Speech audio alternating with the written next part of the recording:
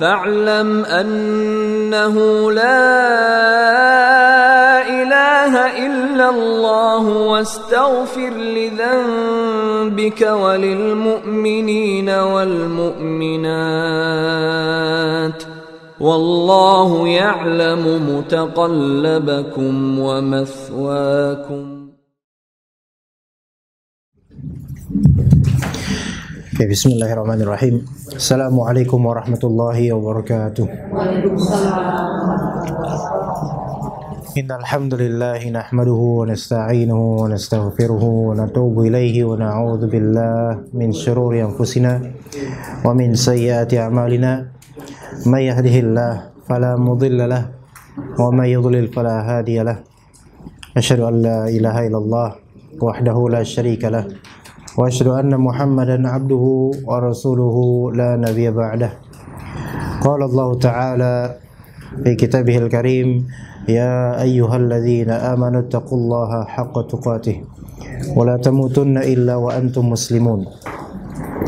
فإن أصدق الحديث كتاب الله وخير الهدى هدى محمد صلى الله عليه وسلم وشر الأمور محدثاتها وكل محدثة بدعة وكل بدعة ضلالة وكل ضلالة في النار أما بعد Ya jemaah muslimat salihat ibu-ibu sekalian rahimakunallah kita kembali bertemu ya untuk membahas di antara perkara-perkara agama. Kalau dua pekan lalu kita membahas apa Bu? Masih ingat gak Bu?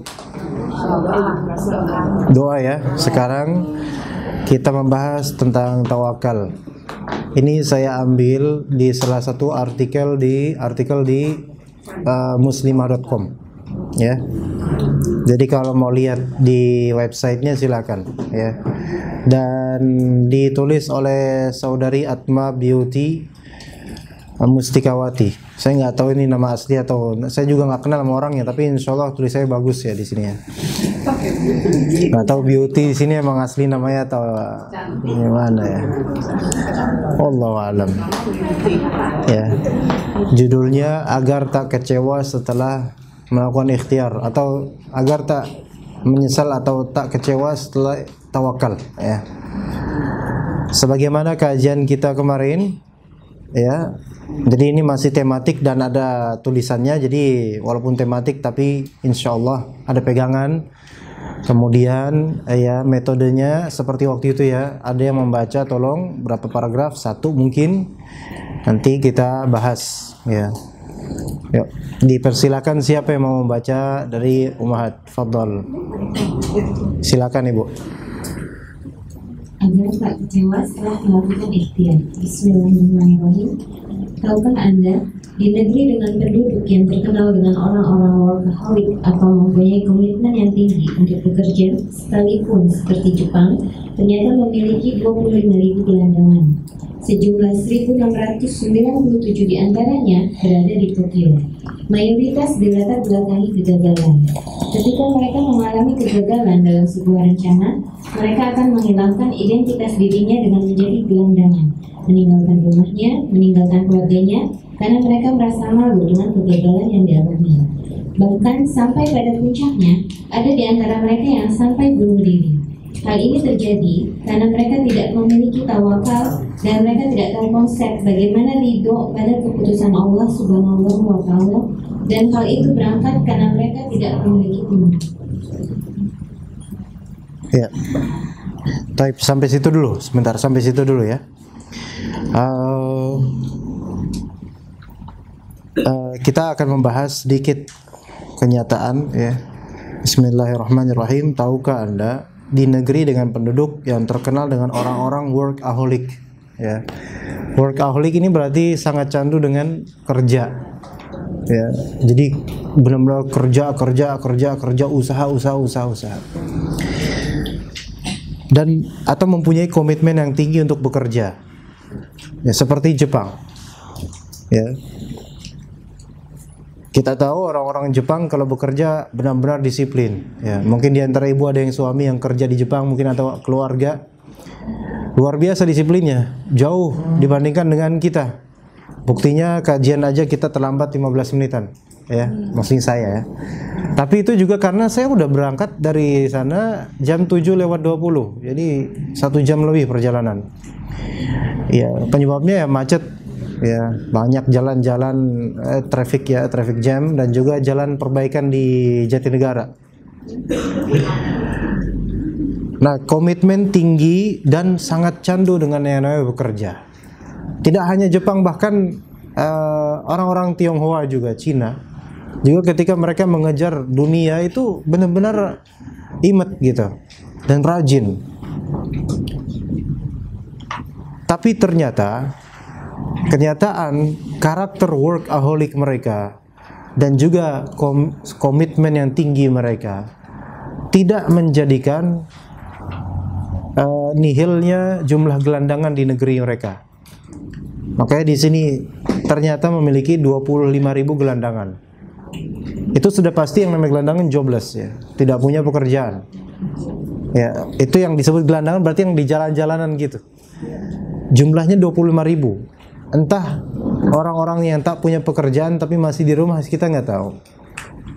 Jadi kenyataannya sekalipun suatu negeri terkenal dengan sisi kegiatnya para penduduknya dalam urusan dunia dan mencari kerja nafkah. Tetapi tidak menutup adanya kenyataan 25.000 gelandangan di negeri yang luasnya tak seluas Indonesia. Kadang-kadang kita ini suka minder dengan negeri kita sendiri. Ya.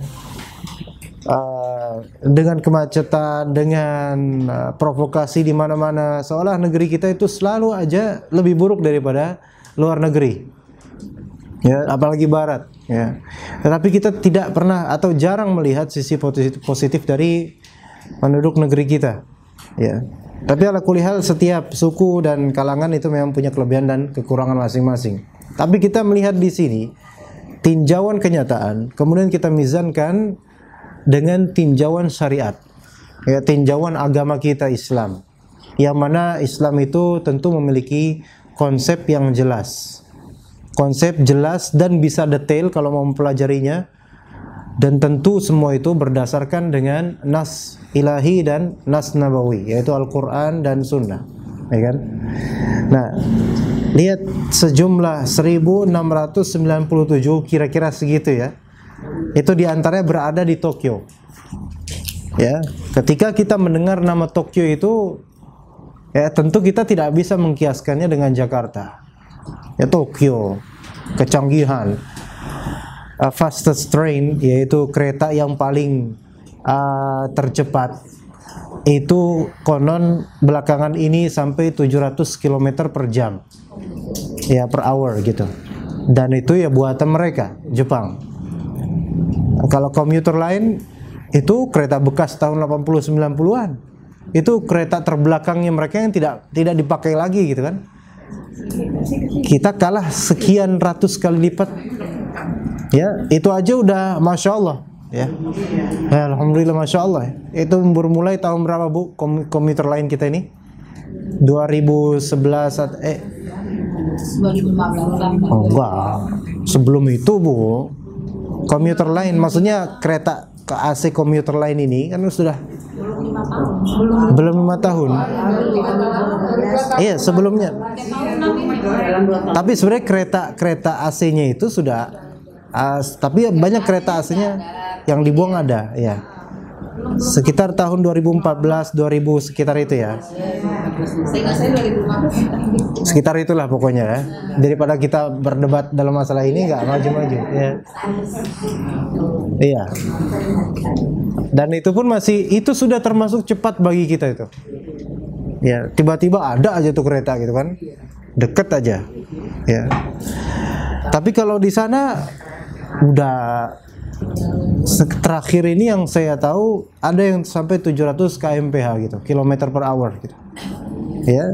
Dan ada video nih di YouTube kalau mau lihat. Itu cepet banget itu. Udah kayak halilintar kayak eh, Masya Allah ya. Nah, tapi di Tokyo dengan glamoritas teknologi seperti itu ada 1697 gelandangan. Ya Alhamdulillah kalau sekarang gelandangan nggak sebanyak dulu kalau nggak salah ya Jakarta ya. Sekarang udah sering di sweeping ya, mudah-mudahan ya. Kalau dulu itu ya nauzubillah. Ya. Tapi sekarang masih banyak yang hijrah dengan gerobak-gerobaknya itu masih ada itu. Ya. Taib. Nah, apa sih penyebabnya? Penyebab kegelandangan mereka nih. Mayoritas biasanya dilatar belakangi kegagalan. Ya. Nah, ya jelas kegagalan nanti akibatnya ekonomi kan. Ketika mereka mengalami kegagalan dalam sebuah rencana, berarti mereka sudah punya plan. Berarti ini orang-orang yang sebenarnya intelijensinya itu bermain. Dia bukan orang-orang yang memang secara kodarnya dari awalnya udah kere atau apa enggak, tapi mereka yang punya plan, cuman gagal, gitu loh. Ketika mereka mengalami kegagalan dalam sebuah rencana, mereka akan menghilangkan identitas dirinya gitu. Itu nanti ujung-ujungnya. Itu masih itu paling topnya itu. Ya.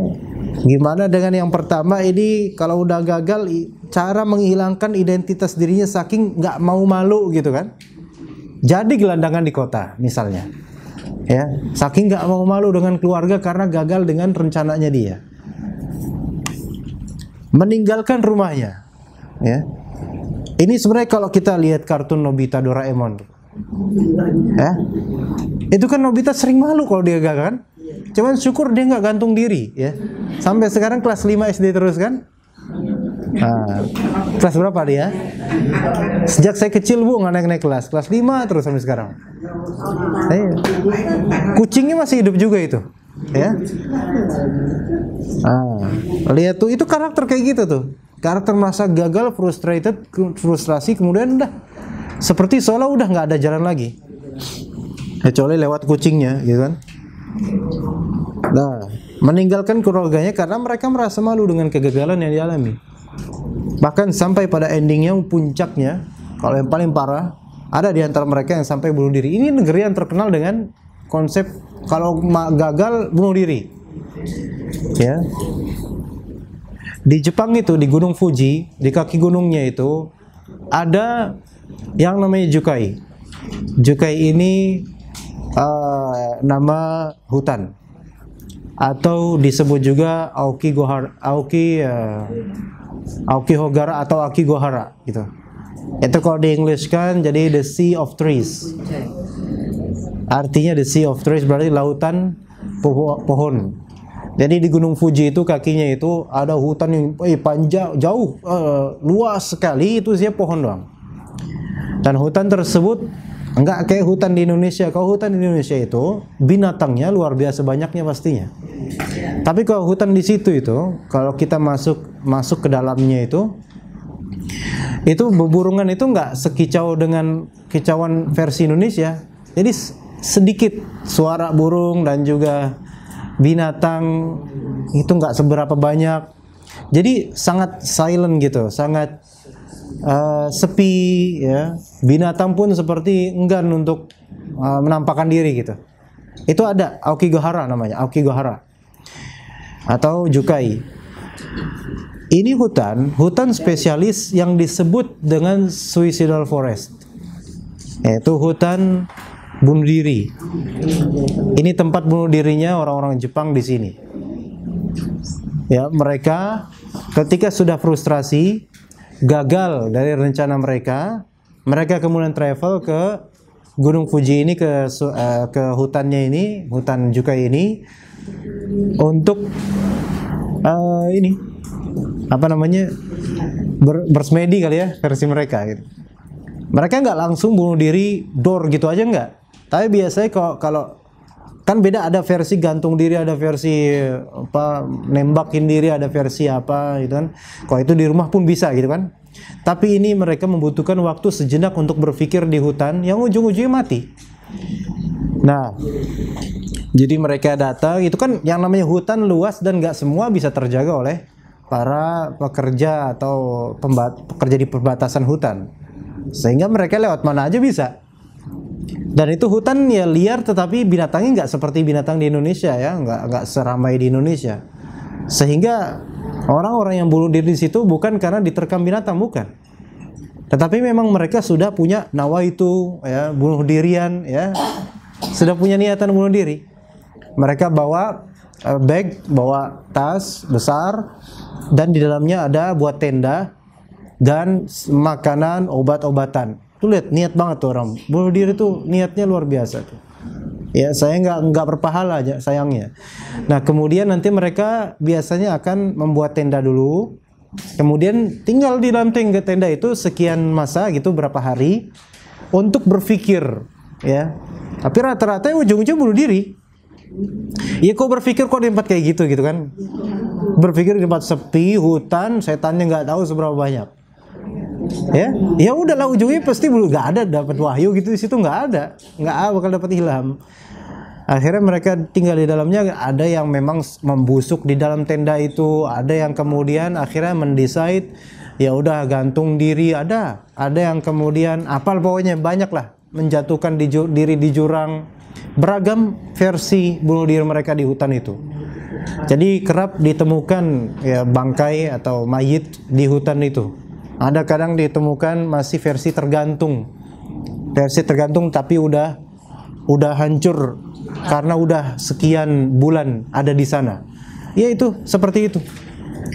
Itu mereka bisa jadi sebagian mungkin dari mereka adalah orang-orang yang intelektualnya itu tinggi, tetapi karena kegagalan karena kegagalan dan kemudian tidak tahu kayak misalnya kalau bahasa Inggris nowhere to go gitu nggak tahu harus gimana saya nih Ketika udah gagal, saya mau ke mana? Kalau di Islam gagal dunia, kita bisa nyari akhirat. Ya kan? Alhamdulillah. Gagal dunia malu sama keluarga misalnya masih ada Allah Azza wa Jalla. Jadi alhamdulillah. Tapi mereka coba, mereka kan kita tahu uh, Jepang itu negeri matahari ya. Di antara mereka mungkin ada yang percaya dengan khurafat-khurafat itu, tapi kan fitrah mereka nggak percaya dengan itu. Mau ke mana coba? Ya lihat seperti itu tuh. Itu dari segi orang-orang yang teknologinya jauh lebih baik daripada kita nih. Dan juga pedesaan mereka ibu-ibu sekalian. Kalau kita coba uh, buka misalnya di situs-situs tentang desa-desa di Jepang pedesaan mereka pun alamnya naturalnya tidak kalah dengan Indonesia juga sebenarnya. Bukan hanya desa sebenarnya di perkotaan kalau kita lihat comberan mereka pun ya kan? Ada ikan-ikan yang luar biasa yang kalau kita itu udah dijual mahal, pedagang-pedagang udah ngambilin ya. Tapi di mereka, masya Allah, di, di, dibiarkan begitu saja indah asri itu lihat. Dari segi alam mereka juga ada bagusnya. Dari segi teknologi jauh di atas kita.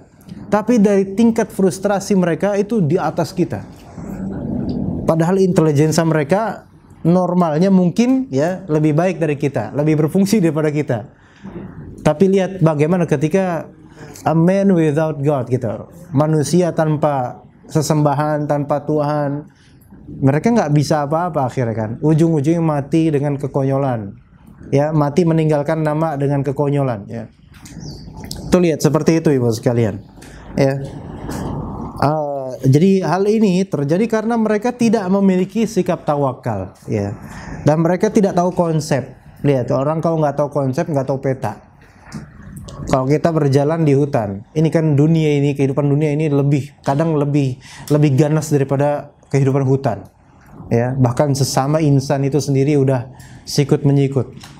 Nah, kalau misalnya kita jalan di hutan, tapi kita tidak punya map, tidak punya kompas, sementara kita tidak pernah ke hutan itu dan tidak ada guide, gimana kita bisa selamat mencari jalan keluar?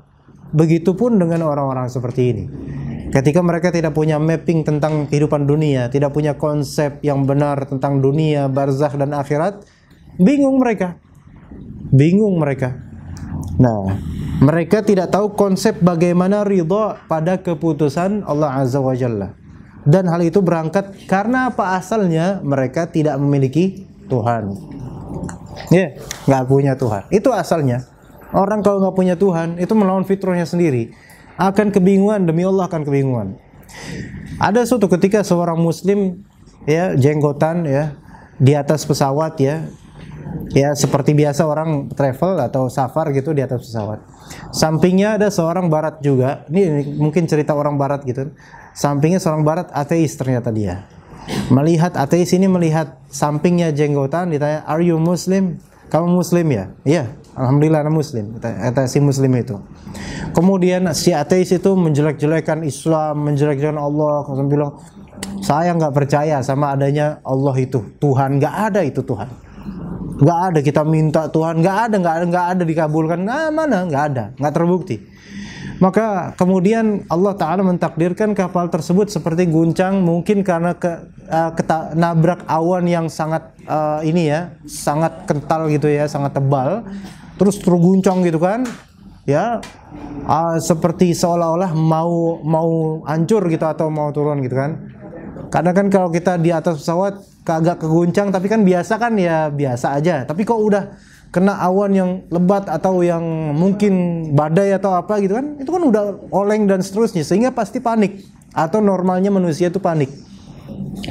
Nah ketika dalam kepanikan tersebut para penumpang itu tentu normalnya biasanya mereka teriak-teriak cuman teriaknya kadang-kadang entah nyebut apa gitu kan kadang-kadang nyebut kalimat jorok atau apa gitu kan tapi kalau misalnya orang muslim ini malah terdiam dia.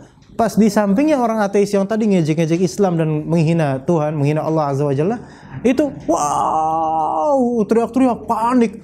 Oh, tak sampai kemudian teriaknya apa? Oh my god, oh my god. Nyebut siapa? Nyebut Tuhan. nyebut Tuhannya, nyebut oh my god gitu kan. Sementara yang muslim itu tenang sambil zikir. Itu ateis itu ngelihat sampingnya nih kok tenang aja kamu gini, sebentar lagi kan kita mati. Dan ateisnya tadi berteriak tentang ya oh my god, oh my god. Ya. Alhamdulillah setelah itu kapalnya eh, normal kembali. Mungkin kena awan yang luar biasa tadi. Normal kembali, apa yang terjadi? Tentu si ateis tadi merenungi perbuatannya tadi.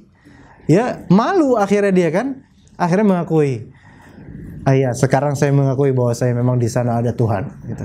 akhirnya mengakui dengan hal tersebut itu orang-orang ateis itu sebenarnya fitrah mereka bagaimanapun juga itu akan berbicara bahwasanya ada Tuhan di sana ada Allah azza wajalla kemudian uh, juga ada di suatu kelas ada di suatu kelas entah di daerah Arab atau di mana ada di suatu kelas seorang guru yang berpemahaman ateis, tidak percaya dengan Tuhan.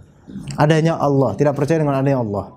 Murid-muridnya masih sekitaran SD, elementary school. Nah, uh, guru ini ya ingin mendoktrin anak-anak ini untuk tidak mempercayai adanya Allah atau Tuhan. Maka kemudian bertanya guru ini, anak-anak dengan bahasa Indonesia, maksudnya dengan bahasa sana, anak-anak gimana? Miknya kenapa? Oh. Uh, gini? Ya. Kenceng? Ya, alhamdulillah. Tapi saya nggak biasa kayak gini. Biasanya nanti saya gini lagi gitu. Uh, mungkin besok-besok gimana? Pakai tempelan atau gimana? Ya. Ah, uh, tadi gurunya bertanya kepada anak-anak. Anak-anak, lihat ini apa? papan tulis Pak Guru gitu kan. Ada atau tidak? Ada Pak Guru. Kelihatan? Kelihatan Pak Guru. Berarti ada kan? Ada. Kemudian uh, misal ini uh, penghapus. Anak-anak ini apa? Penghapus. Kelihatan atau tidak? Kelihatan. Berarti ada atau tidak? Ada Pak Guru. Anak-anak uh, melihat Tuhan atau tidak? tidak tidak tidak kelihatan Pak Guru gitu. Berarti ada apa enggak? Kan tidak kelihatan katanya. Langsung kan anak-anaknya pada apa? Iya pada bingung. Lah ini berarti kan sama aja ngomong nggak ada Tuhan gitu kan karena nggak kelihatan.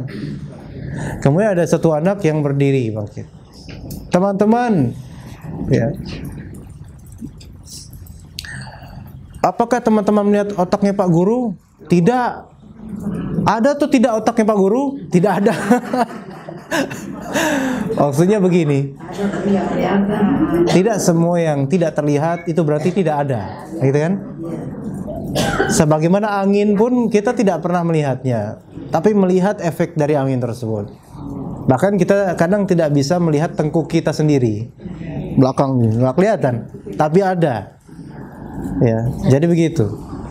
Nah orang-orang ateis itu bisa dibilang sebodoh-bodoh orang sekalipun mereka menggunakan rasio untuk ya hidup mereka. Tapi mereka bodoh dengan rasio mereka.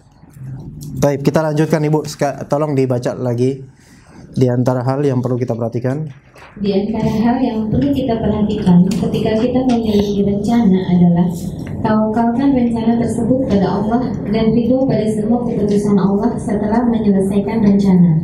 Sebagaimana penjelasan Syekhul Islam Ibnu Taimiyah radhiyallahu anhu, ketika seorang manusia memiliki rencana, maka di depannya ada takdir. Bagaimana sikap yang tepat agar tidak selalu memikirkan rencana, agar hati kita tidak bergantung dengan sebab yang kita miliki dan hati kita tidak merasa kehilangan ketika mengalami kegagalan. Satu, tawakal pada Allah ketika kita memiliki rencana. Dua, ridho pada semua keputusan Allah setelah melakukan rencana. Terus terus lagi nyambung. Jika seseorang bisa menyeimbangkan dua hal ini setiap dia memiliki rencana, maka insya Allah dia tidak akan terlalu bergantung dengan sebab dan tidak akan merasa kehilangan ketika dia mengalami kegagalan. Baik. Sudah? Ya. Ya, ini sana itu. Ini bawah. Oke. Nah, begini lebih enak. Oh, tapi dia mau jatuh dia. Ini saya serba salah ini. Saya mau ngapain? Hah? Dipegang aja. Ah, ini mata saya yang bicara jadi ya. Ketinggian, tapi dia kalau ke bawahan dia nggak nggak mau ngambek dia. Dan ini udah udah nempel dia ya. Ah, sudahlah. Saya pegang aja. Ah, jadi tadi di antara hal yang perlu kita perhatikan ketika kita memiliki rencana ya plan, tapi rencana yang baik ya, bukan rencana untuk maksiat. Tawakalkan ya, berarti serahkan rencana tersebut pada Allah. Make a report gitu. Rapor kepada Allah. Ya Allah, saya mau mau begini ya. Saya ada plan mau safar, saya ada plan mau dagang. Saya ada plan mau mempelajari bahasa Arab misalnya. Tuh tawakal dulu di, di situ doa. Dan dan juga ketika kita punya plan, kemudian ridho lah nanti pada semua keputusan Allah setelah kita susun atau selesaikan rencana. Ya Allah, saya mau mempelajari bahasa Arab. Ya. Mudah-mudahan dalam dua tahun saya bisa membaca kitab dengan baik misalnya. Nah, Eh, kemudian kalau nanti ternyata setelah dua tahun belum bisa juga harus tetap ridho kepada Allah Azza wa Jalla. Udah berusaha, saya udah doa, kok enggak engkau enggak ngasih sih gitu kan. Enggak, jangan kayak gitu ngomongnya. Ridho karena pasti di balik takdir ini Allah taala mempunyai hikmahnya. Ada kalanya seseorang tidak Allah kasih sesuatu yang dia inginkan karena kalau dikasih bisa sombong misalnya. Bisa ujub, bisa takabur ya. Sebagaimana penjelasan Syekhul Islam Ibn Taimiyah rahimah- rahimahullah ketika seorang manusia nah, ini ibu-ibu manusia kan? Hah? Ya udah berarti ngerasa di sini ya. Ketika seorang manusia memiliki rencana, ya, ibu manusia yang punya rencana kan? Apa ren- banyak ya, masya Allah. Rencana duniawi atau rencana ukhrawi? Dunia dan ukh- ukhrawi ya, ada dunia dan akhirat ya. Kalau kita nih punya rencana, maka di depan kita tuh tetap ada takdir pastinya. Sudah ditentukan sama Allah dan Allah sudah tahu apa yang akan terjadi pada kita. Nah, bagaimana sikap yang tepat? Nah, sikap ini penting karena banyak orang sesat gak karena gagal bersikap dengan baik. Kenapa gagal bersikap dengan baik? Karena tidak tahu bagaimana caranya bersikap. Iya. Sikap itu benar-benar penting. Kayak misalnya kalau ibu punya anak usia 20 tahun. Tapi kemudian dia ketika kita bertamu dengan membawa anak 20 tahun kita itu kemudian dia eh, ngambek di depan tuan rumahnya. Ngambek, "Ibu sih nggak berikin aku sepeda." Ah. Rasanya gimana? Malu nggak tuh? Malu. Karena nggak bagus sikapnya. Jadi sikap itu bisa malu-maluin. Dan orang-orang Jepang yang tadi sampai bunuh diri itu karena tidak tahu bagaimana bersikap menghadapi kegagalan. Ya kan? Jadi menghadapi kegagalan itu ada sikapnya. Islam mengatur sikapnya gitu. Nah, bagaimana sikap yang tepat agar tidak selalu memikirkan rencana? Nah, di sini hati-hati. Sebagian dari orang ketika dia punya plan, ketika dia membidik target, itu pikirannya itu terpatuk di situ terus. Ya, kepikiran terus. Misal yang perempuan, misal yang bujang wati ya, yang mojang ya, itu usia 18 tahun, pokoknya saya ini harus sudah nikah di usia 19 tahun. Itu kepikiran terus tuh. Uh, masih setahun lagi nih. Kepikiran pas 19 tahun nggak jadi nik nggak nikah nikah, nggak ada yang mau sama dia, nggak ada yang datang. Bahkan dia datangin orang pun gak ada yang mau. Nah, misalnya gitu. Itu kan, wah, itu kan bingung jadinya, capek, sakit. Ya. Sampai saya ngeliat videonya ada seorang perempuan ngerekam videonya sendiri ya dia sakit hati gara-gara cintanya mungkin nggak tahu selingkuh atau ditolak nggak tahu lah pokoknya masih muda lah usia sekolah mungkin perempuan ini jadi ketika ditolak atau gagal hubungan dengan lawan jenisnya nggak tahu gimana sikapnya secara syar'i kan akhirnya minum sampo-nya sendiri iya glok glok glok minum sampo-nya ya nggak tahu mati atau apa pokoknya jatuh habis itu dia saya nggak tahu kabarnya dia mati atau pingsan atau berubah wujud dari jadi jin atau gimana nggak tahu itu. Ya, pokoknya gitulah. Ya, minimal pingsan lah ya. Kalau nggak mati ya. Tinggal pilih aja mau mati atau pingsan ya. Lihat, gara-gara tidak tahu gimana bersikap. Akhirnya hancur, menghancurkan diri sendiri. Begitu yang terjadi pada banyak orang. Ada yang bunuh diri sekitar bulan Maret lalu. Orang Indonesia, orang Jaga Karsa kalau salah. Live streaming Facebook bunuh dirinya, gantung diri. Ya kan? Itu sebabnya apa? Karena tidak tahu gimana menyikapi istrinya. Gimana cara merajut hubungan rumah padahal sudah belasan tahun menikah tapi belum belajar agama.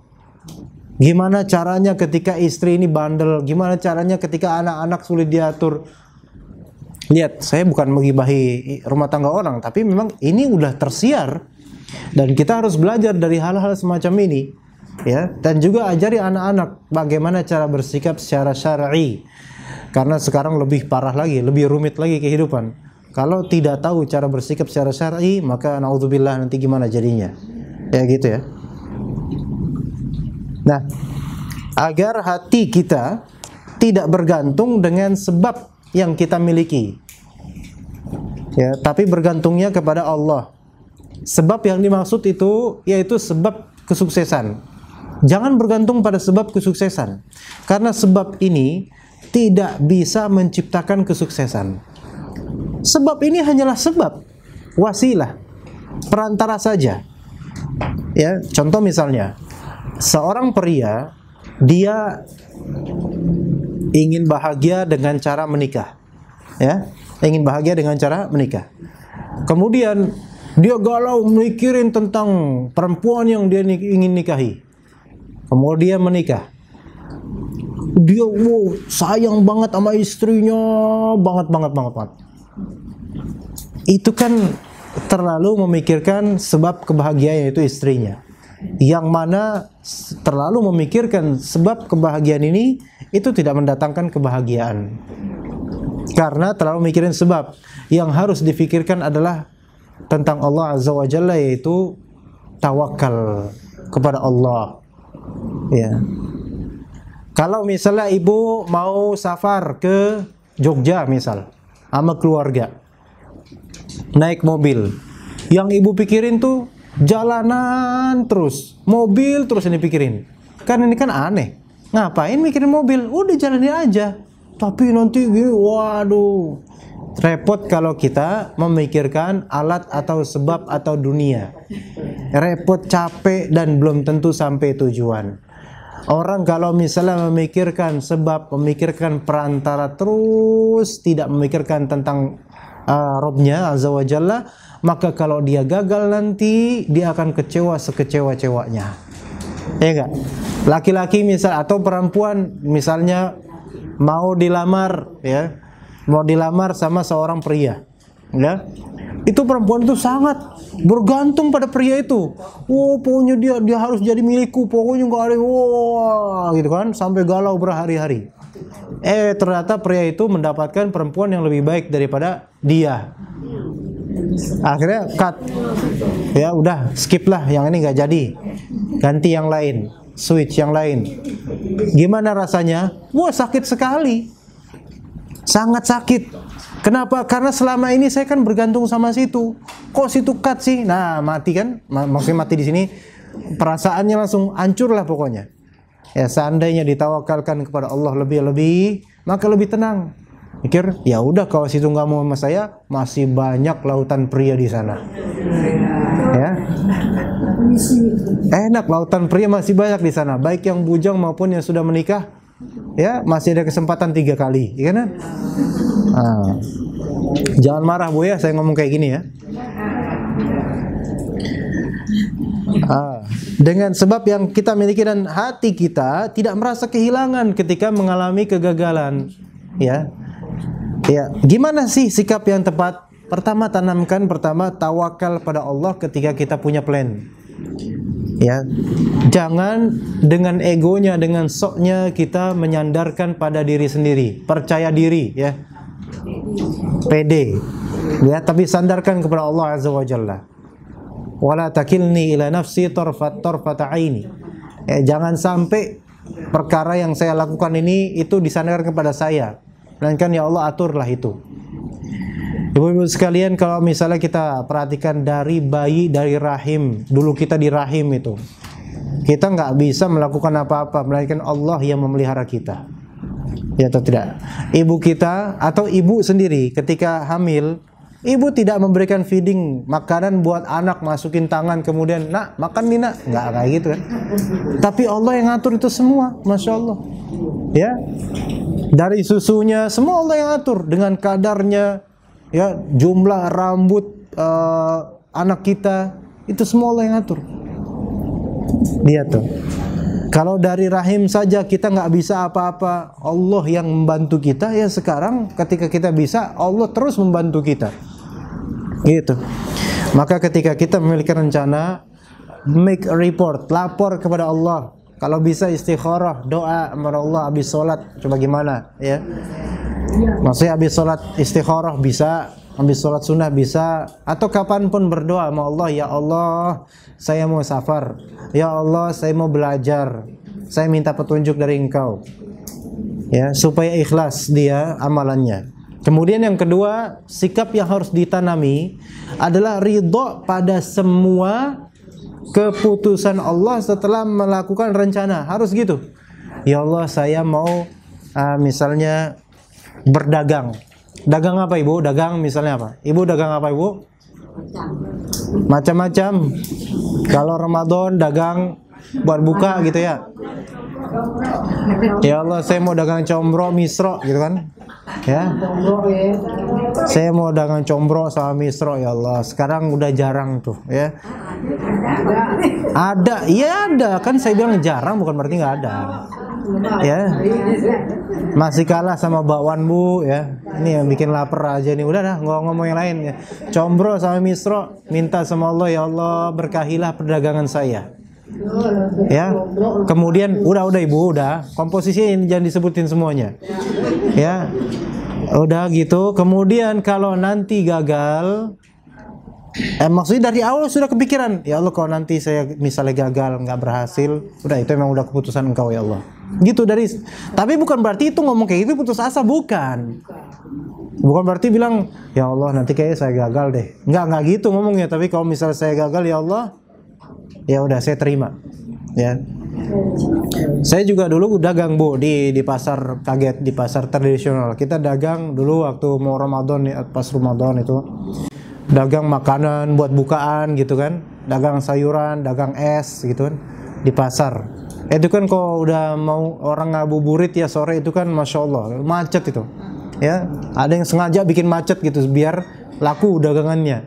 Kadang orang-orang dagangan dimajuin ke ke jalan biar biar tambah macet tuh kan nggak boleh tuh, ya kan? nggak boleh. Nah, itu pernah suatu ketika, subhanallah bu, ya kita saya sama ibu saya itu Pak, nggak kedengaran di belakang Pak. Iya, iya. Ah, saya nggak biasa kayak gini bu soalnya. Iya, mohon maaf ya atas ketidak terdengarnya. Ya. Ini saya terusin atau enggak nih? Atau saya udah selesai kajian aja? Saya mau pergi aja nih. Hah? Terusin.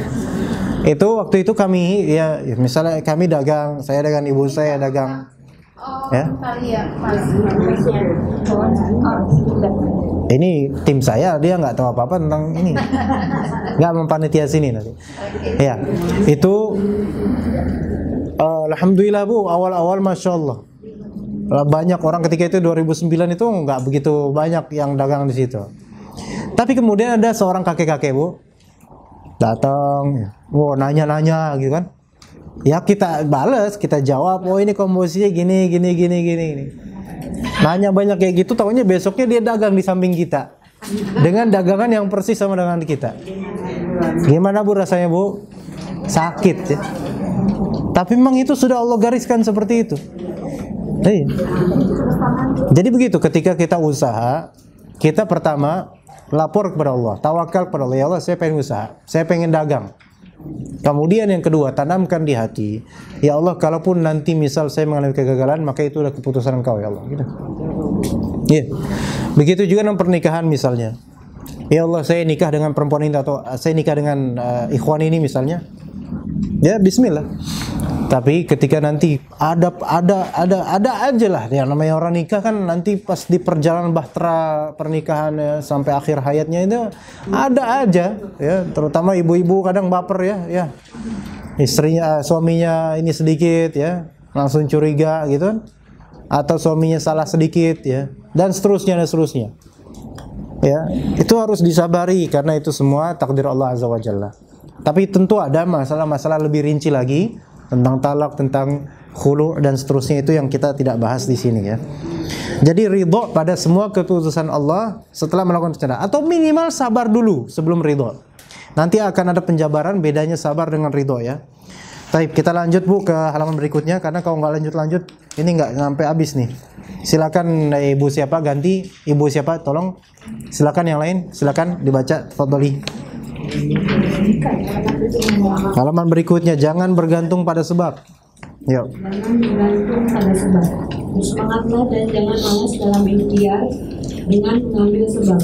Namun sebagai insan yang beriman pada takdir Allah, kita tidak boleh hanya bergantung pada sebab. Ketika sudah melakukan sebab, maka bertawakallah kepada Allah dan sabar serta ridho dalam menyikapi hasil yang diberikan oleh Allah.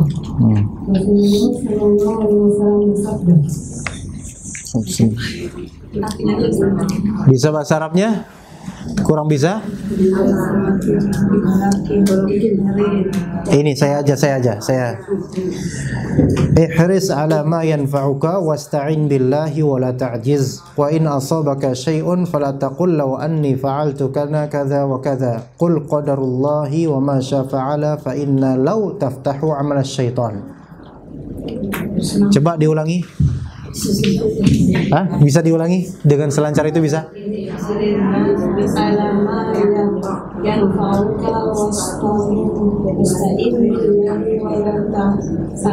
Oke, udah cukup Bu, selesai. Lang- Lanjut uh, terjemahnya ya, kesian saya. Ya, silakan. Bersemangatlah dalam hal bermanfaat bagi, yang bermanfaat bagimu. Minta tolonglah pada Allah dan janganlah kamu malas. Apabila kamu tertimpa sesuatu, janganlah kamu mengatakan seandainya aku berbuat demikian, tentu tidak akan begini atau begitu. Tapi katakanlah qadarullah wa ma syaa fa'al. Karena perkataan seandainya akan memberi, akan membuka pintu. Nah, ini penting Bu di hadis ini ya. Pertama dari awal ya bersemangatlah. Semangat jadi muslim muslimah itu semangat, semangat hidup. Jangan putus asa. Jangan malas ya dalam ikhtiar, dalam berusaha dengan mengambil sebab ya. Namun sebagai insan yang beriman kepada takdir Allah, kita tidak boleh hanya bergantung pada diri sendiri, bergantung pada alat, bergantung pada sebab jangan. Melainkan kita tawakal kepada Allah, sabar kalau menghadapi kesulitan dalam usaha kita. Rasulullah SAW bersabda, "Ihris ala ma yanfa'uk." Artinya, bersemangatlah dalam hal yang bermanfaat bagimu. Ya, baik dunia lebih-lebih bermanfaat untuk akhirat, ya. Itu benar-benar semangat untuk sholatnya, ngajinya. Banyak loh pahala-pahala yang udah lama kita tinggalkan. Ya. Coba kita bersemangat Bu mencari ilmu. Kan mencari ilmu kan jalan yang termudah untuk menuju surga. Ya. Siapa tahu kalau misalnya antara kita husnul khotimahnya itu uh, pas lagi nuntut ilmu kan bagus kan? Ya, pas lagi sholat gitu. Ya, kan bagus itu. Jadi bersemangatlah. Ya. Kemudian jangan semangat doang. Nanti kalau semangat doang ngandelin diri sendiri. Tetapi ista'in billahi wala ta'jiz. Minta tolong pada Allah. Orang yang tidak minta tolong sama Allah itu sombong dia. Ya. Kepedean, merasa paling bisa. Ya, tanpa bantuan Allah. Wala ta'jiz, jangan kamu lemah, jangan kamu malas. Makanya dalam hadis lain kata Rasulullah SAW, al muslimul al mu'minul qawiyyu ahabbu ilallahi minal mu'minid dhaif. Orang mukmin yang kuat itu lebih Allah cintai dibandingkan orang mukmin yang lemah. Ya. Iya. Wa in asabaka syai. Nah, kalau misalnya kamu tertimpa suatu musibah, kesulitan, kemacetan, ya, ekonomi sulit misalnya. Fala taqul law anni fa'altu kana kadza wa kadza. Jangan langsung bilang, "Duh, seandainya dulu saya kayak gini, mesti nggak bakal jadi gini dah."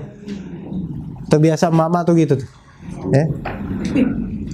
Misalnya ekonomi suaminya agak sulit mampet sekarang, Mas, Mas, coba kalau misalnya dulu tuh Mas, ah, coba kalau misalnya dulu Mas kerja di sana tuh, ah dulu nolak sih, makanya lah nyaho sih ya, gitu kan, sama sama suaminya kayak gitu dia, luar biasa. ya.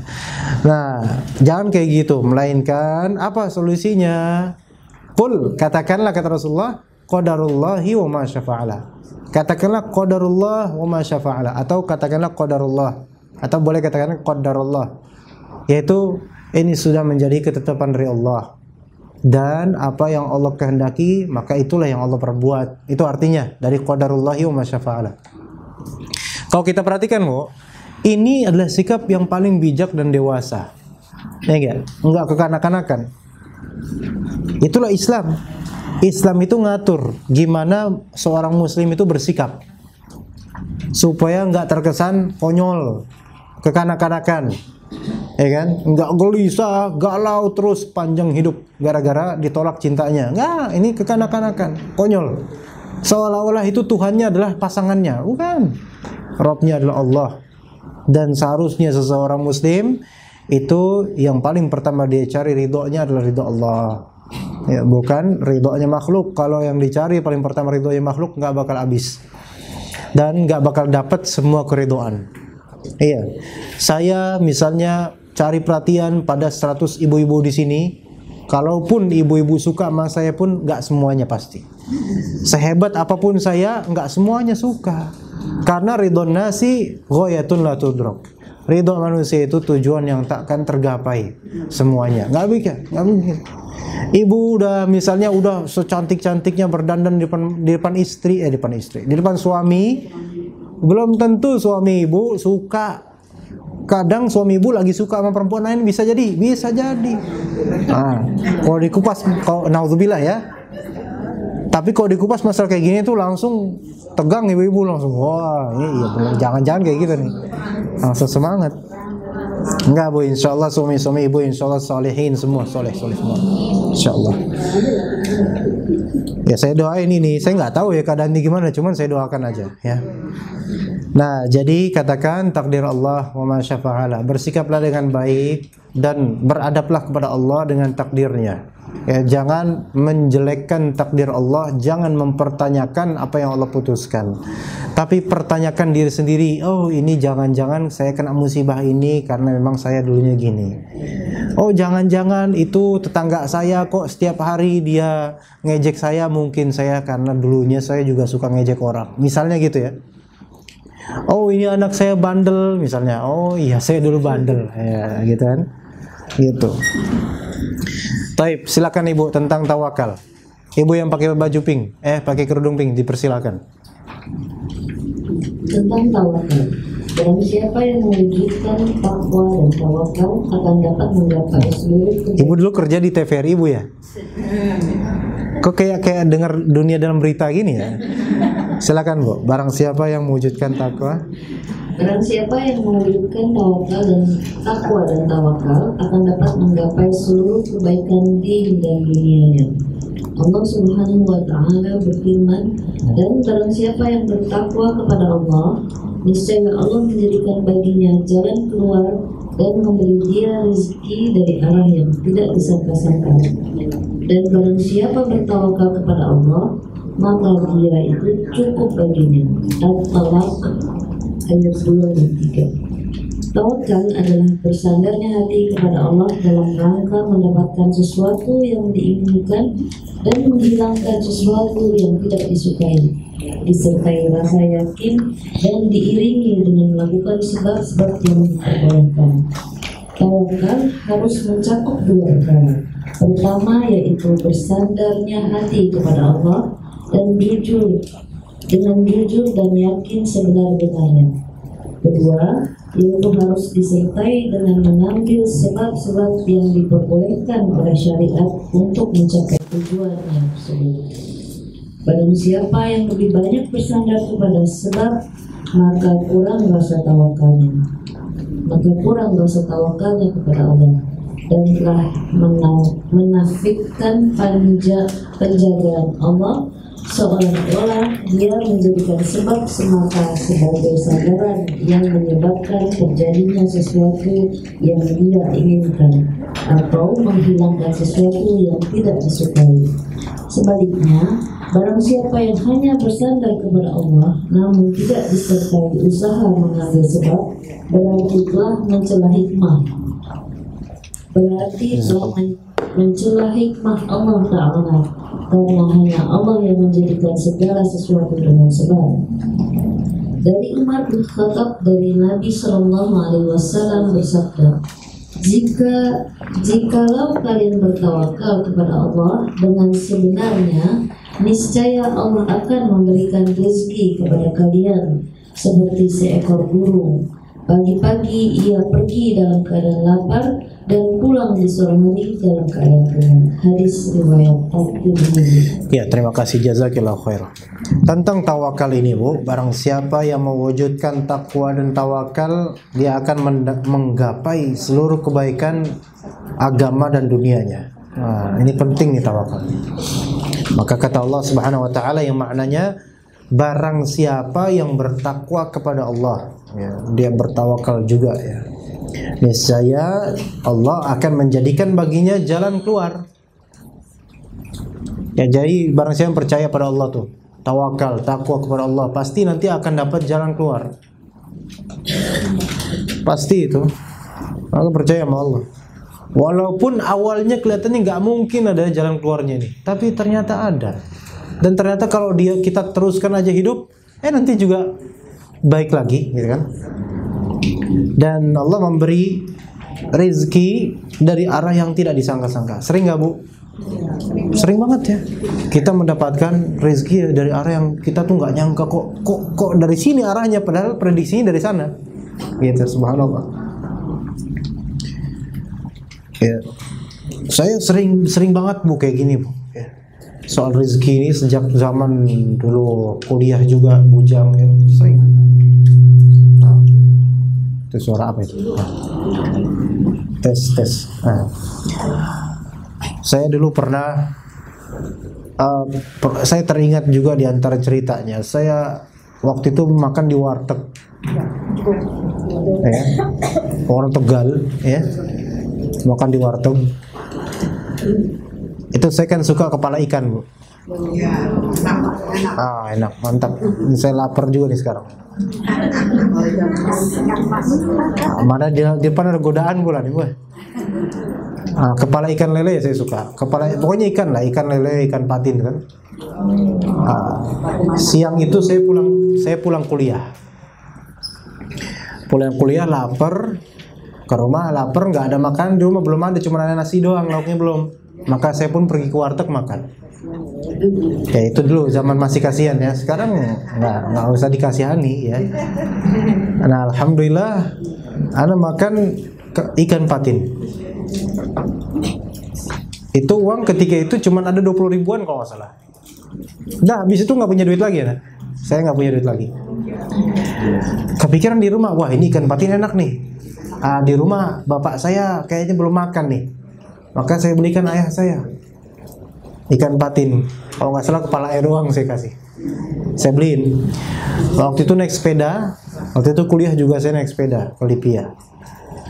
Pulang ke rumah dari warteg Nah pas pulang udah saya kasih ke bapak saya ini nih ada lauk nih alhamdulillah kan nasi ada di rumah tapi nggak lauk saya kasih lauk habis itu ada laporan melalui SMS waktu itu kayak kalau nggak salah belum ada WhatsApp waktu itu belum ada. Nah uh, pas saya lihat ada masukan dari mukafah dari kampus satu juta. Wah, masya Allah. Itu balasan dari ngasih ikan patin ke orang tua.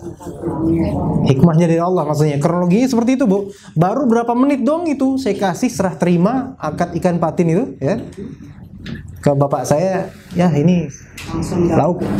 berapa menit kemudian dapat satu juta ya. jadi ibu-ibu nanti kalau ngasih ikan patin ke orang ya insya Allah bisa bisa lebih dari itu. Terserah Allah gitu.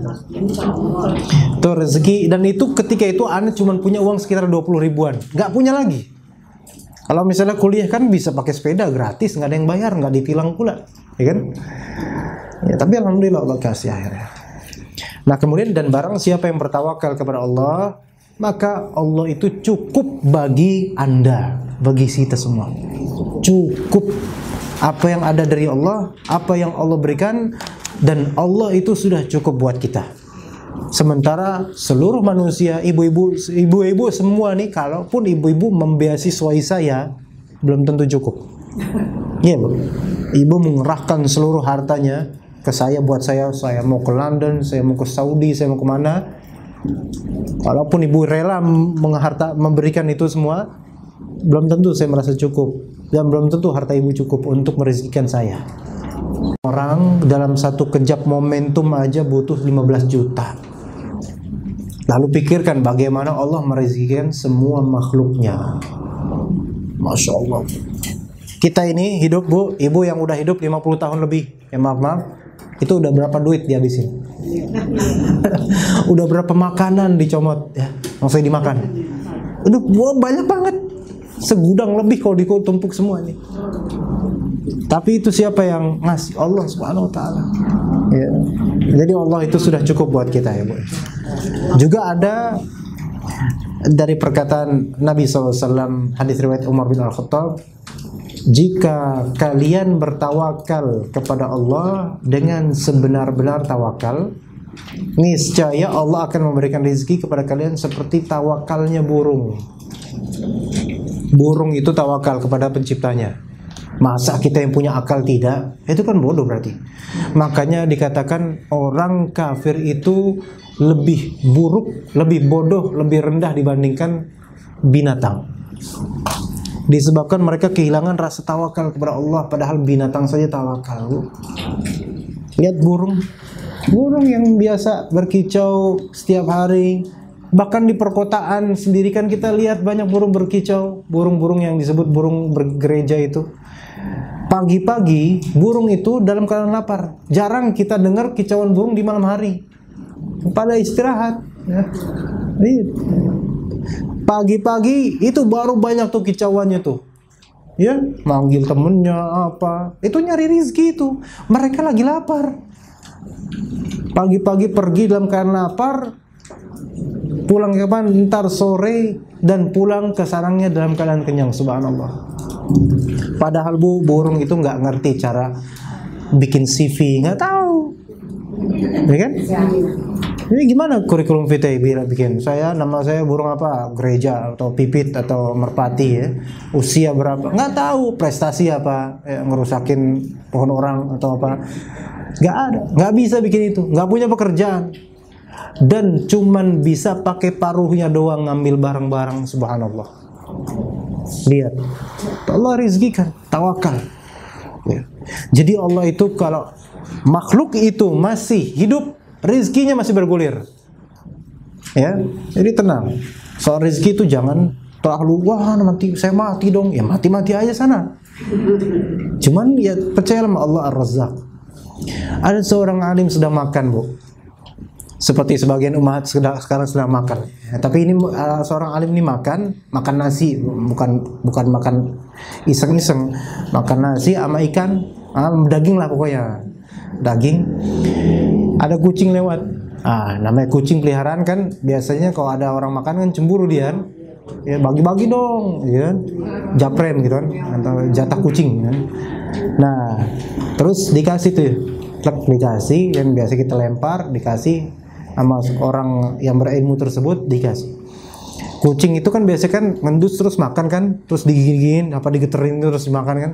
Tapi ini enggak. Digigit itu daging, kemudian dibawa keluar. Biasa itu kan, ah biasa aja. Dan makan lagi, datang lagi tuh kucing yang tadi, ngeong lagi, kayak minta makan, bang bagi lagi dong bang gitu kan. Nah, kemudian dikasih lagi, ah ente ini minta mulu gitu kan, dikasih.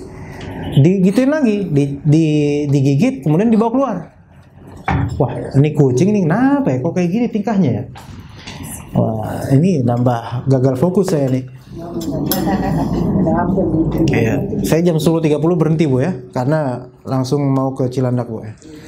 Nah, eh, jangan jangan jam 11. 10.30 Bu. Sampai mana tadi? Ah, kucingnya udah keluar kedua kalinya tuh. Ketiga kalinya orang ini punya rencana. Ntar kalau misalnya dia datang lagi kemudian minta lagi dibawa keluar lagi, saya bakal kuntit dia. Saya saya bakal ikutin mau ke mana tuh anak ya. Nah, datang lagi tuh kun- eh, eh, kucing, bang, bagi bang, gitu kan. Ah, kasih bang. Dilakukan hal yang serupa yang tadi. Ah, di, di digigit terus habis itu bawa keluar. Di, di, di, diikutin tuh sama si alim tersebut. Kucing tersebut membawa makanan yang tadi dikasih sambil digigit ternyata bawa ke sebuah rumah kosong yang udah terbengkalai. Yang alim itu pun orang manusia itu pun juga ikutan masuk, pengen tahu, kepo gitu kan. Mungkin kucing itu sadar nggak? Sadar nggak tahu di bodoh amat. Dia mau diikutin apa enggak namanya kucing kan. Diikutin, ternyata apa yang dia lihat? Ada seekor kucing di dalam rumah kosong itu yang udah hancur, maksudnya udah hancur nih udah bentar lagi mungkin mati. Penyakitan apa udah nggak bisa ngapa-ngapain lagi. Dikasih makan sama kucing yang tadi. Lihat makhluk Allah yang hidup yang pun tidak punya potensi untuk mendapatkan rizki atau mencari rizki nggak punya potensi. Gimana emang? Orang nggak bisa ngapa-ngapain? Mau dapat makan dari mana? Itu tetap Allah mengirim pasukannya untuk mengirimkan rezeki padanya. Apalagi kita bu, mata punya, hidung normal, lidah punya, boleh ngelewain orang biasanya gitu kan. Tangan punya, kaki normal, bisa jalan, punya mobil, punya motor, pesawat tinggal tiket dan hotel. Ini hotel sekarang. Dan seterusnya, masa nggak percaya sama Allah? Kan lebih bodoh daripada kucing itu. Gitu. Ya, dan cerita ini nyata ya. Begitu ya. Nah, jadi jangan kalah sama burung. Burung itu pagi-pagi pergi lapar, pas sore hari udah kenyang pulang. Alhamdulillah. Ya. Tapi sekarang sabar dan ridho ibu siapa yang silakan mau tadi mana speakernya? Silakan siapa yang mau baca? Ibu mau baca silakan sabar dan ridho bu silakan. Dan. Sehubungan dengan apa yang tidak disukainya, suami hamba tidak menepati Seorang hamba bisa menempati salah satu dari Panas dua derajat yaitu ridho atau sabar. Ridho adalah yang lebih utama. Adapun sabar hukumnya wajib bagi setiap insan yang beriman. Sabar adalah menahan diri dari amarah dan kekesalan ketika merasa sakit sambil berharap derita yang dihadapinya segera hilang. Sementara itu adalah berlapang dada atas ketetapan Allah dan membiarkan keberadaan rasa sakit walaupun ia merasakannya karena keridoan menghilangkan deritanya disebabkan hatinya dipenuhi oleh ruh yakin dan ma'rifat. Bila ridho semakin kuat, ia mampu menepi seluruh rasa sakit dan derita. Hanya saja Cuma mereka yang bermakrifat dan bermahabbah saja yang dapat mencapai tingkatan ridho. Mereka bahkan dapat menikmati musibah yang menimpa karena mereka tahu bahwa musibah itu datang dari zat yang dicintainya. Anas bin Malik meriwayatkan dari Nabi SAW, beliau bersabda yang artinya, sesungguhnya jika Allah mencintai suatu kaum, dia menguji mereka. Barang siapa yang ridho, niscaya dia akan mendapatkan ridhonya. Barang siapa kesal dan benci, niscaya ia akan mendapatkan murkanya. Hadis riwayat Al-Bukhari. Ibnu Mas'ud berkata, sesungguhnya Allah menjadikan kesejahteraan dan kegembiraan pada yakin dan ridho, serta menjadikan kesusahan dan kesedihan pada keraguan, kekesalan, dan kemurkaan. Udah, udah cukup. Jazakallah. Jadi sabar dan ridho sehubungan dengan apa yang tidak disukainya deh. Oh, ada sesuatu yang tidak kita sukai, musibah terutama, seorang hamba bisa menempati salah satu dari dua derajat. Dia bisa ridho dan dia wajib sabar. Sabar itu step pertama, paling basic untuk muslim atau muslimah. Sabar dulu. Ya. Ridho itu lebih utama. Tapi hukumnya sunnah tidak wajib. Ridho terhadap takdir Allah itu di atas sabar. Ya, sabar hukumnya wajib. Kalau ridho hukumnya sunnah. Bedanya apa sabar sama ridho? Sabar terhadap takdir Allah dengan ridho terhadap takdir Allah itu beda. Ya, kalau sabar itu di hatinya tuh masih ada perasaan kurang suka, sebel gitu dengan apa yang terjadi. Itu sabar. Tapi lidahnya ditahan. Ya, jadi nggak ngeluh ke manusia nggak, sabar dia. Sabar terhadap penyakit misalnya. Ada nggak di sini yang suka dengan penyakit? Nggak ada. Pasti, aduh nggak enak, enak. Tapi dia nggak ngeluh. Sabar, ditahan lidahnya. Itu sabar. Ya cuma paling aduh, aduh ya refleks lah ya. Sabar tapi dia tetap sabar. Dia nggak mencela takdir. Kalau ridho itu dia lapang dada. Maksudnya, ya alhamdulillah udah saya ridho aja udah. Nggak ada di hatinya tuh mangkel gitu nggak. Nggak ada. Nah, gitu. Itu bedanya. Tapi tidak wajib untuk yang ridho itu tidak wajib. Yang wajib cukup sabar itu wajib. Tapi kalau dia bisa sampai derajat ridho itu jauh lebih baik. Ya begitu. Bu. Ibu-ibu punya suami dan suami punya kekurangan pasti.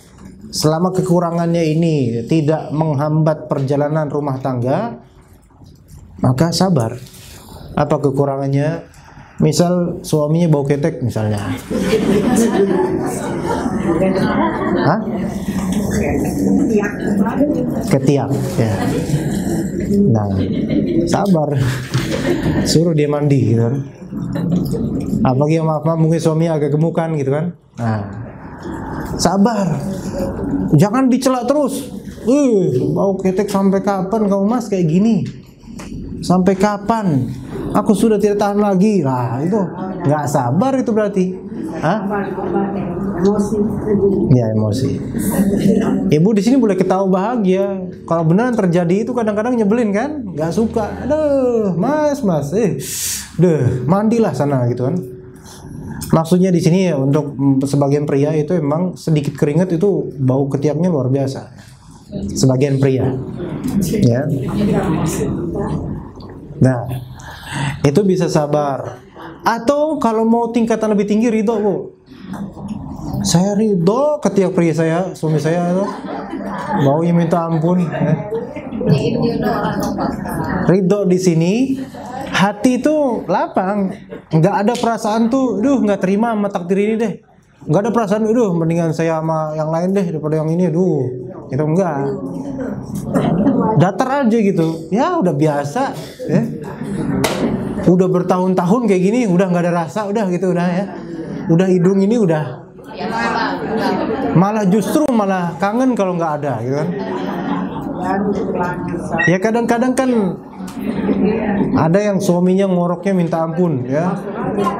Nah ini mungkin lebih banyak terjadi ini. Ngorok ya. Kalau tidur itu ya kasurnya bergoyang. Karena suara ngoroknya besar gitu kan. Itu terganggu istrinya. Awal-awal nikah itu ya Allah saya tersiksa dengan kesendirian saya dulu sekarang tambah kesiksaan saya sekarang memang tidak sendiri tapi berdua tapi kayak gini. Nggak bisa tidur mata bergadang mulu gara-gara ngorok suami. Tapi sabar. Dari masa saya minta cerai gara-gara ini gitu kan. Ini masih ada cara lah. Terus habis itu sabarin lama-lama jadi ridho. Ridho. Sampai lama-lama bersyukur. Ya bersyukur saya punya suami ngorokan Hah? Nggak ada, biar nggak ada yang mau dia. Nggak ada yang mau lagi maksudnya. Nah, ridho suami saya ngorokan. Ada itu ibu-ibu atau ya ibu-ibu lah ya udah nikah. Itu so, kalau dia dulunya awal-awal itu ya Allah suami saya kok ngorokan gini capek saya dengarnya terus habis itu lama-lama ketika suaminya itu pergi safar eh malah kangen. Kangen sama ngoroknya suaminya bukan sama suaminya. Hah? kangen sama ngoroknya. Karena sudah terbiasa setiap hari ya dijejelin sama ngoroknya itu. Bisa seperti itu bisa. Dan dan bisa dia mencari pahala dengan itu. Ya suaminya kadang-kadang agak cuek misalnya. Atau penghasilan suami misalnya tidak sesuai dengan selera kita misal ya itu kan disabarin dulu. Ya kalau sampai gitu masya Allah bagus. Nah di sini kata Rasulullah yang maknanya sesungguhnya jika Allah mencintai suatu kaum dia akan menguji mereka jadi semakin banyak ujian itu insya Allah mudah-mudahan menunjukkan semakin Allah cinta pada anda gitu. Tapi kalau anda sabar kalau semakin banyak ujian terus anda tidak sabar kali lidahnya nggak dijaga maka itu berarti bukan ujian, itu musibah. Fitnah itu adalah fitnah, musibah. Barang siapa yang ridho, niscaya akan mendapatkan ridhonya. Barang siapa yang kesal dan benci, yaitu kesal ditumpahkan kekesalan akan takdir ini, niscaya akan mendapatkan murka dari Allah. Biasa kan di sinetron-sinetron tuh bu, ya kita lihat Ya Allah, kenapa engkau kayak gini? Ngapain itu tanya kayak gitu? Ya, nggak boleh kayak gitu tuh nggak boleh haram. Itu namanya murka terhadap takdir Allah nggak boleh. Apalagi kalau di sinetron tuh masalahnya cinta-cinta doang. Ya Allah, kenapa engkau menjodohkan si Sulaiman dengan Fatimah gitu? Kenapa nggak sama saya? Tanya diri sendiri. Kamu kalau tidur ngorok makanya nggak mau tuh, gitu kan? Ah, misalnya kamu bau ketiak makanya nggak mau dia. Tanya diri sendiri. Kata Allah Azza wa Jalla, la yus'alu amma yaf'al wa hum yus'alun. Allah itu tidak ditanya tentang apa yang Allah perbuat, jangan tanya. Wahum yus'alun, tapi mereka lah manusia yang akan ditanya. Itu yang harus kita introspeksi diri. Ketika terjadi musibah, jangan tanyakan Allah, ya Allah, kenapa engkau turunkan musibah ini kepada saya? Kenapa nggak tetangga saya yang pelit itu? Misalnya, kenapa kok sama saya yang diturunkan ya Allah? Jangan tanya, tapi kita yang akan ditanya. Gitu Bu ya. Jadi jangan mempertanyakan Allah tapi pertanyakan diri sendiri. Oh, ini Fabima kasabat aidikum Fabima kasabat aidikum Ini musibah disebabkan tangan-tangan kita sendiri, ulah kita sendiri. Kemacetan itu pun gara-gara kita juga, ya kan? Macet di jalan-jalan, orang jadi emosi. Itu sebabnya kan kita-kita juga. Sebenarnya kalau mau kita pikirkan ya, Bu ya. Baik. Ibnu Mas'ud berkata, sesungguhnya Allah menjadikan kesejahteraan dan kegembiraan pada rasa yakin kepada Allah dan ridho kepada takdirnya serta menjadikan kesusahan dan kesedihan pada sikap ragu-ragu, kurang yakin terhadap Allah, kesal dan murka terhadap apa yang Allah takdirkan. ya maka seorang muslim tidak layak untuk berlarut dalam kesedihan dan kegalauan karena seburuk-buruknya dunia ini pun kita masih memiliki Allah Azza wa Jalla yang memiliki surga. Ya maka itu yang kita cari. Sekian dari saya ibu-ibu jemaah sekalian. Udah mau jam 10.30 maka saya tutup. Terima kasih atas kehadirannya dan perhatiannya. Jazakumullahu khairan. Dan juga semoga Allah berkati ilmunya. Subhanakallahumma bihamdika asyhadu an la ilaha illa anta astaghfiruka wa atubu ilaik. Wassalamualaikum warahmatullahi wabarakatuh